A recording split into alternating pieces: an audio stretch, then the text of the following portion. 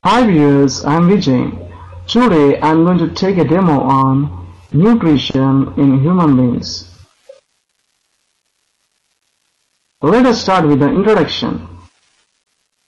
Nutrition in human beings takes place in the digestive system. It consists of the alimentary canal and glands which produce enzymes which breaks down food into smaller molecules. The main organs of the digestive system are mouth, esophagus, stomach, small intestine, large intestine, and anus. The main glands are salivary glands,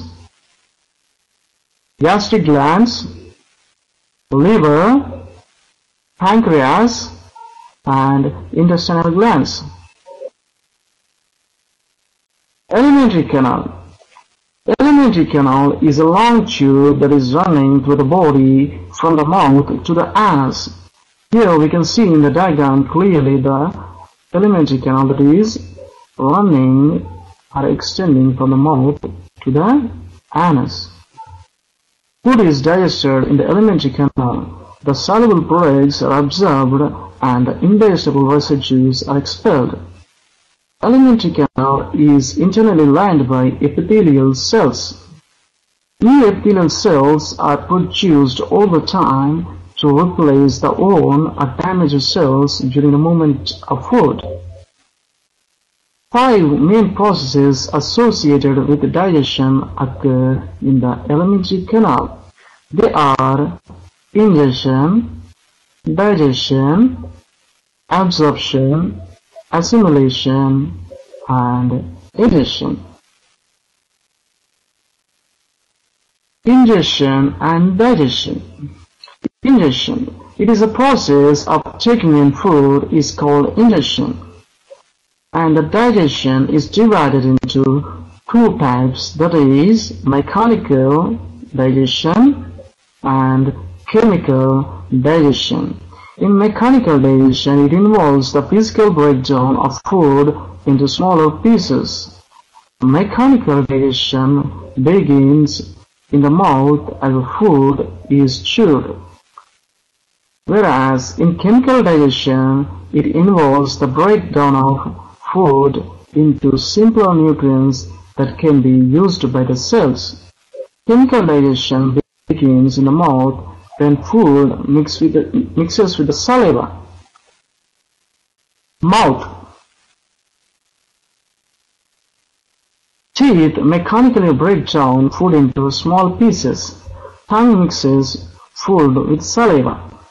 Saliva is produced by the salivary glands which are exocrine glands, glands with ducts that produce the saliva. Salivary glands secrete enzyme amylase that breaks down starch into molecules. Here we can see three types of salivary glands. One is parotid, the other one is sublingual,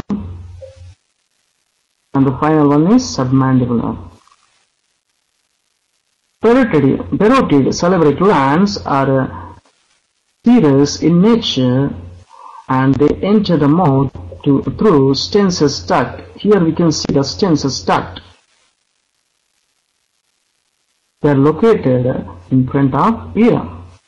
Whereas submandibular salivary glands, they are located below the lower jaw and they are serous and as well as mucus in nature. They secrete about 70% 70% of the saliva in the mouth.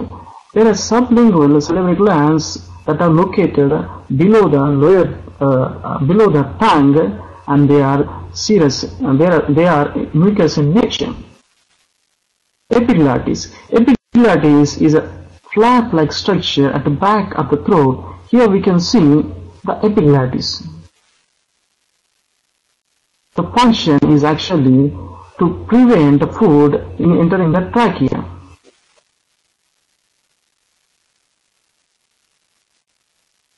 Esophagus. Here in this diagram you can see the esophagus.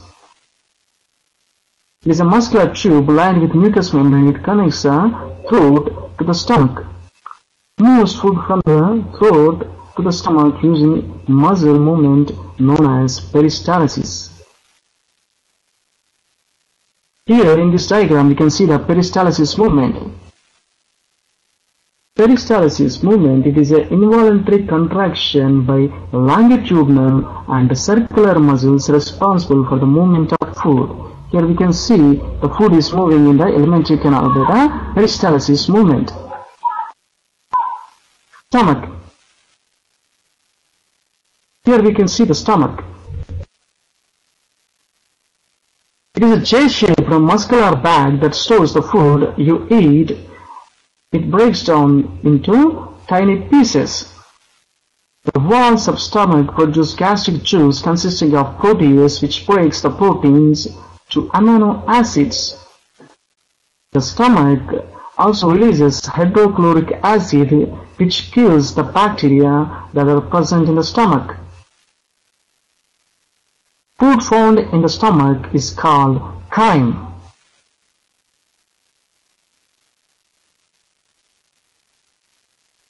Small intestine. Small intestine are roughly 7 meters long. The Lining of the intestine walls has finger-like projections called villi to increase the surface of area. The villi are covered in microvilli which further increases the surface area for absorption. Food enters from the stomach to intestinal duodenum which is the first part of the intestine. Here we can see the duodenum which is the first part of the intestine and jejunum after the duodenum, jejunum and the final one is ileum.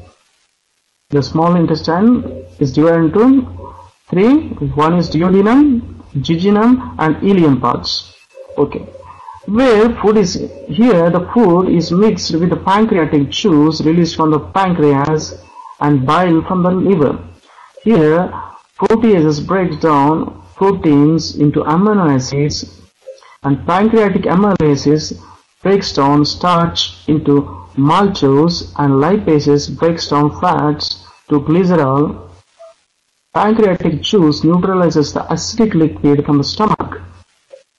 All the uh, digestible material is thus changed to soluble compounds which can pass through the lining of intestine and into the bloodstream.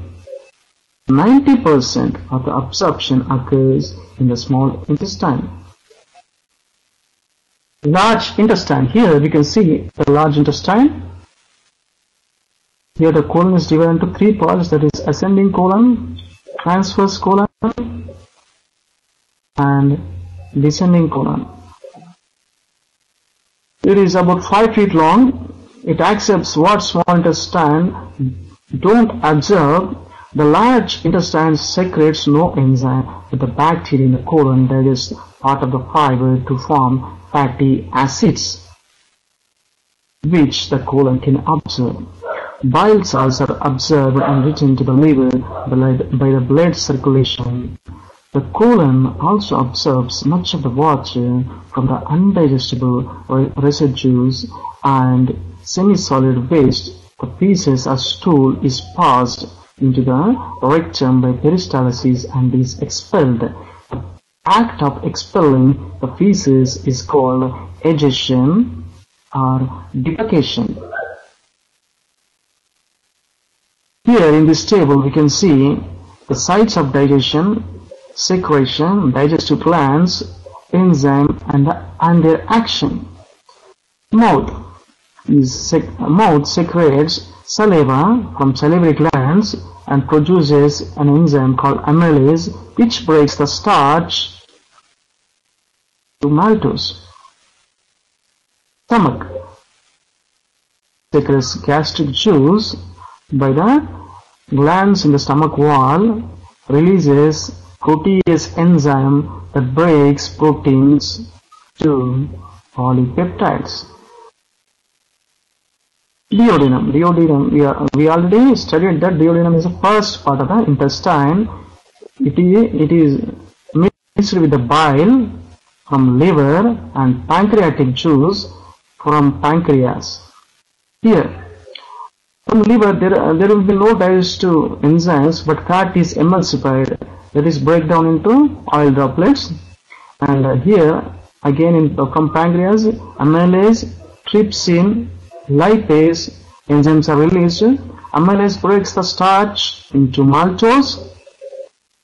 Trypsin breaks the polypeptides into peptides and lipase breaks emulsified fats into fatty acids plus glycerol. Ileum, which is the last part of the small intestine.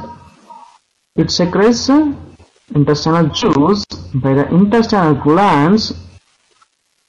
It secretes an enzyme called sucrase, which breaks the sucrose into glucose.